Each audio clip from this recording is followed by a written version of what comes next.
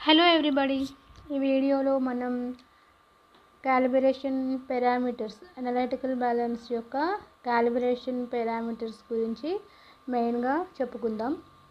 So introduction first one what is analytical balance calibration why do we need to calibrate what are the types how to verify a successful calibration, reference guidelines balance calibration parameters responsibilities and general precautions, finally conclusion.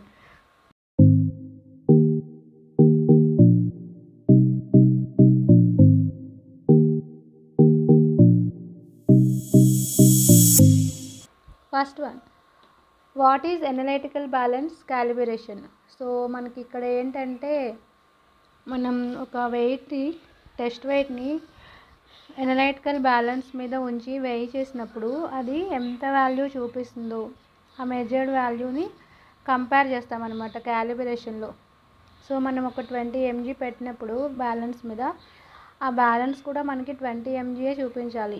అలా కాకుండా fifteen ఎంజీయో లేదా twenty five ఎంజీయో చూపిస్తుందంటే అది కరెక్ట్గా ఉన్నట్టు కాదు. So మనం calibration చేసేటప్పుడు compare చేసుకుంటాం అనమాట అవి రెండు. అంటే స్టాండర్డ్ టెస్ట్ వెయిట్ అలాగే ఎనలైటికల్ బ్యాలెన్స్ చూపించే వెయిట్ రెండు సేమ్గా ఉన్నాయా లేదా అని కంపేర్ చేస్తాం. సో అదే ఎనలైటికల్ బ్యాలెన్స్ క్యాలిబ్రేషన్ అంటే. Why do we need to calibrate analytical balance? అంటే మనకి మ్యానుఫ్యాక్చరర్ ఆల్రెడీ క్యాలిబ్రేషన్ చేసి ఇస్తారు కదా అనలైటికల్ బ్యాలెన్స్. అక్కడ మనం అన్నీ చెక్ చేసుకుంటాం కదా చెక్ చేసుకునే తీసుకొస్తాం కదా. సో మళ్ళీ మనం ఎందుకు క్యాలిబ్రేషన్ చేయాలి? అంటే మనం వెయ్యింగ్ చేసుకోవడానికి ముందు ఎందుకు క్యాలిబ్రేట్ చేయాలి అంటే అది ట్రాన్స్పోర్ట్లో మనకి ఇంటర్ఫియర్ అవ్వచ్చు. అంతే కదా? సో మనకి సిస్టము కదిలి కదిలిపోవచ్చు. సో మనకి మళ్ళీ మనం వెయ్యింగ్ చేసుకోవడానికి ముందు క్యాలిబ్రేషన్ చేసి అన్నీ కరెక్ట్గా ఉన్నాయా లేదా? అలాగే మనకి ట్రాన్స్పోర్టేషన్లో కానీ ఆ ఎనలైటికల్ బ్యాలెన్స్ అనేది టెంపరేచరు హ్యూమిడిటీ ప్రెషరు వాటి వల్ల కూడా సమ్ ఎఫెక్ట్ అనేది ఉంటుందన్నమాట. సో అలా ఉండడం వల్ల దాంట్లో ఏమైనా చేంజ్ వచ్చిందా లేదా? ఎనలైటికల్ బ్యాలెన్స్లో కరెక్ట్గానే ఉందా లేదా అని చెప్పేసి మనం శాంపుల్ని వేయి చేసుకోవడానికి ముందు ఖచ్చితంగా ఎనలైటికల్ బ్యాలెన్స్ని క్యాలిబ్రేట్ చేసుకోవాలి. చేసుకున్న తర్వాతే మనం వెయ్యింగ్ చేసుకోవాలన్నమాట. ఎందుకు అంటే మనం శాంపుల్ వెయ్యింగ్ కరెక్ట్గా ఉంటేనే కదా టెస్ట్ ప్రిపరేషన్స్ అన్నీ కరెక్ట్గా ఉంటాయి శాంపుల్ ప్రిపరేషన్స్. సో మనకి అప్పుడే మనకి యాక్యురేట్ రిజల్ట్ రా రాగలుగుతుంది. సో అందుకని చెప్పేసి మనం ప్రతి స్టెప్ కూడా ఇది కూడా ఒక జిఎంపిఏ సో మనం ప్రతి స్టెప్లో కూడా అన్నీ యాక్యురేట్గా ఉన్నాయో లేదో చెక్ చేసుకుంటూనే ఉంటామన్నమాట. సో ఇది చాలా చాలా కంపల్సరీ. ఒక ఎనలైటికల్ బ్యాలెన్స్ని మనం శాంపుల్ వేయి చేయకముందు ఖచ్చితంగా క్యాలిబ్రేట్ చేసుకోవాలి. సో నెక్స్ట్ వచ్చేసి అనలైటికల్ బ్యాలెన్స్ క్యాలిబ్రేషన్ ఎన్ని టైప్స్? ఫస్ట్ది వచ్చేసి ఇంటర్నల్ క్యాలిబ్రేషను సెకండ్ వచ్చేసి ఎక్స్టర్నల్ క్యాలిబ్రేషను నెక్స్ట్ వచ్చేసి how to verify a successful analytical balance calibration so మనకి ఎనలైటికల్ బ్యాలెన్స్ క్యాలిబ్రేషన్ అనేది సక్సెస్ఫుల్గా జరిగింది అని మనం ఎలా చెప్పొచ్చు? అంటే మనం డ్రిఫ్ట్ చెక్ పెర్ఫార్మెన్స్ చెక్ అలాగే మెజర్మెంట్ అన్సర్టనిటీ చెక్ అంటే రిపీటబిలిటీ అనమాట మెజర్మెంట్ అన్సర్టనిటీ చెక్ అంటే రిపీటబిలిటీ. సో ఈ మూడు టెస్టులు బేసిక్గా ఉంటాయి. సో ఈ మూడు టెస్టుల్లో అది కనుక కరెక్ట్గా ఉన్నట్టయితే అంటే ఎర్ర రేంజ్ కన్నా మనకి రేంజ్ని క్రాస్ చేయకుండా ఉన్నట్లయితే సో మనకి అది కరెక్ట్గా ఉన్నట్టే. సో ఈ మూడు drift check performance check measurement uncertainty check మూడు చెక్స్ పర్టికులర్గా చేయాలన్నమాట ఫస్ట్ వచ్చేసి డ్రిఫ్ట్ చెక్. సో దీంట్లో ఏంటంటే మనము టెన్ డిఫరెంట్ పొజిషన్స్ దగ్గర పాన్ మీద ఒక వెయిట్ పెట్టి సో మనకి ఆ వాల్యూ ఆ వెయిట్ అనేది ఆ టెన్ డిఫరెంట్ పొజిషన్స్లో ఉన్నప్పుడు కూడా అది కరెక్ట్గానే చూపిస్తుంది అని చెప్పేసి డ్రిఫ్ట్ చెక్లో చూస్తాం. నెక్స్ట్ వచ్చేసి పెర్ఫార్మెన్స్ చెక్.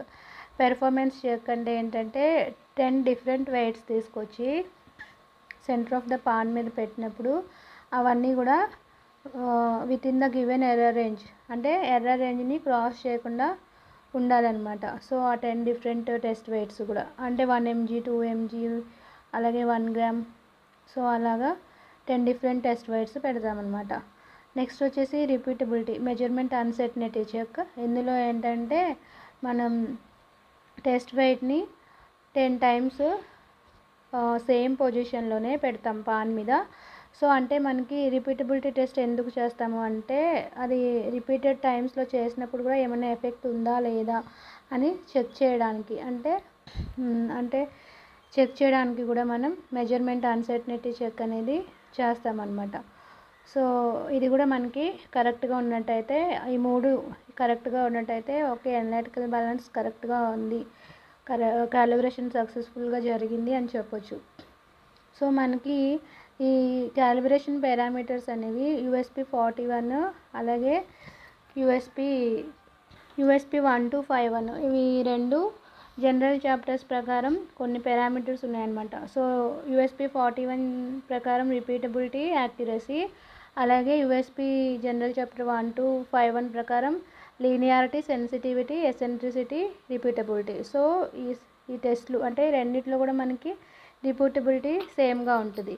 సో ఈ రెండు ఈ రెండు కూడా మనకి యూఎస్పి ఫార్టీ వన్ ప్రకారం అలాగే USP one two five one ప్రకారం ఈ పారామీటర్స్ అయితే ఖచ్చితంగా పాస్ అయి తీరాలి ఎనలెటికల్ బ్యాలెన్స్.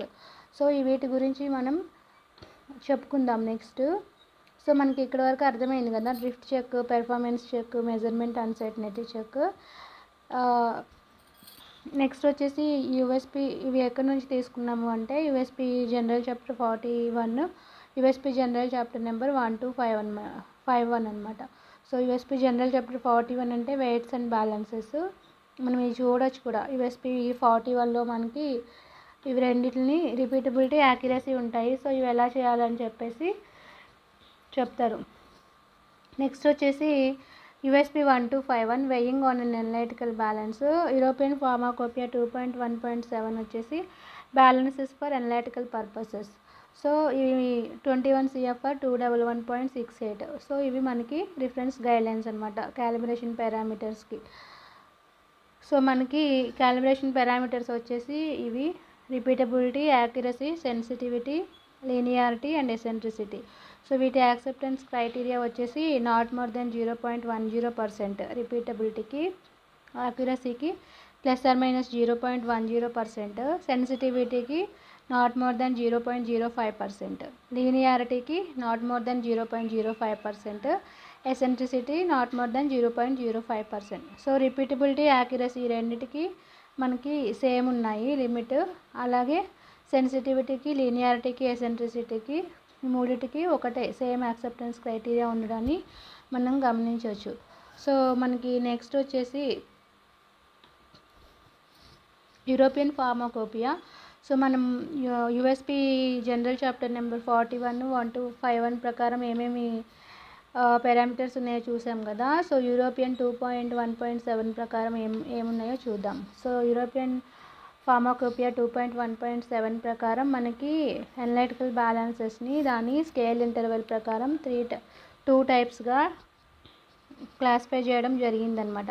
సో మనకి ఇక్కడ రీడబిలిటీ అంటే ఏంటి? స్కేల్ ఇంటర్వెల్ అంటే ఏంటి? అంటే మనకి బ్యాలెన్స్ మినిమం వెయిట్ అంటే బ్యాలెన్స్ వే మెజర్ చేయగలగా మినిమం వెయిట్ని మనం స్కేల్ ఇంటర్వెల్ అంటాం. సో దీన్ని స్మాల్ డీతో సూచిస్తాం ఈ స్కేల్ ఇంటర్వెల్ని. సో ఈ రీడబిలిటీని బట్టి కూడా మనం ఈ బ్యాలెన్సెస్ని టూ టైప్స్గా క్లాసిఫై చేసాం సో ఫస్ట్ వన్ వచ్చేసి ప్రెసిషన్ బ్యాలెన్స్ సెకండ్ వన్ వచ్చేసి అనలైటికల్ బ్యాలెన్స్.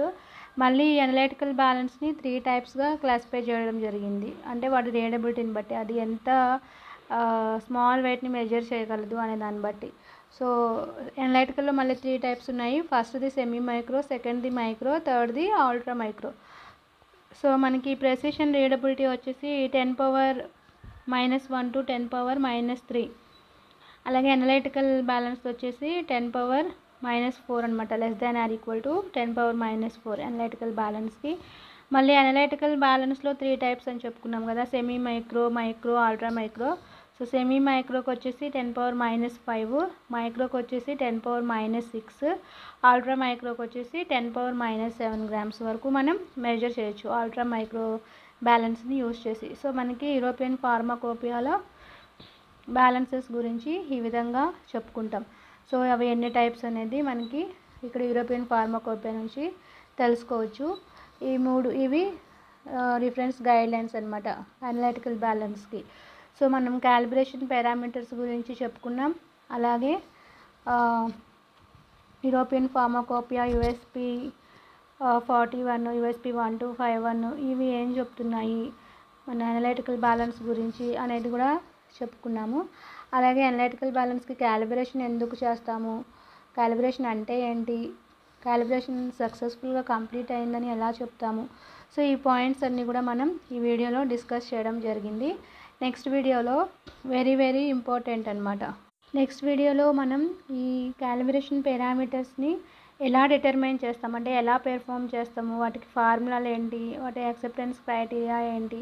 సో ఇవన్నీ కూడా బ్రీఫ్గా చెప్పుకుందాం. అలాగే మనం రెస్పాన్సిబిలిటీస్ అనమాట ఎనలైటికల్ బ్యాలెన్స్ ఆపరేట్ చేయడానికి మినిమం క్యూసీ అనలిస్ట్కి ఉండాల్సిన రెస్పాన్సిబిలిటీస్ క్యూసీ అనలిస్ట్కి అలాగే క్యూసీ డిపార్ట్మెంట్లో వాళ్ళకి కూడా ఉండవలసిన రెస్పా చేయవలసిన రెస్పాన్సిబిలిటీస్ అలాగే ప్రికాషన్స్ ఇవి వెయ్యింగ్ చేసేటప్పుడు ఎలాంటి ప్రికాషన్స్ తీసుకోవాలి అని చెప్పేసి. సో ఇవి కూడా మనం నెక్స్ట్ వీడియోలో డిస్కస్ చేద్దాం. ఓకేనా? మీ అందరికీ అర్థమైంది అనుకుంటున్నాను. ప్లీజ్ లైక్ చేసి షేర్ చేసి సబ్స్క్రైబ్ చేయడం మర్చిపోమకండి. ఓకేనా? Thank you.